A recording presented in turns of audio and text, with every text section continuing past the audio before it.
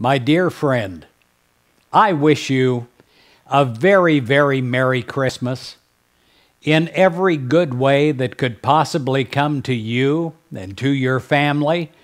I wish you a profound happiness. And I say this wish as a prayer. I pray that you are literally surrounded by the presence of God, that you feel Christmas this year, that you realize that it's not just one day, but it is a spirit.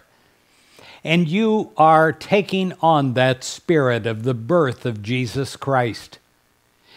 You feel the warmth and the hospitality that everyone feels at this time of the year and you draw it into yourself as a sponge draws in water, and you pour it forth from yourself to others long after the Christmas day.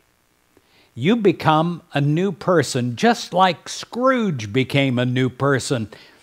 I pray that you accept this, that you fully accept the Christmas spirit that you fully accept to be embodied as one that is love, one that is joy, one that is hope, and one that is filled with the peace that precedes even understanding, where you have all that come to you directly from center to circumference, in and through you, missing nothing in its thoroughness of change and transformation.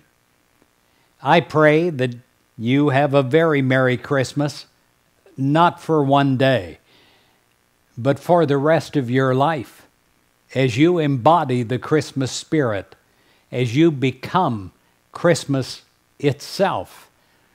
I pray this for you in all the warmth and love that I have for you, whether we know each other or not. I know if you're listening to this, we are connected. And in that connection, I say Merry Christmas.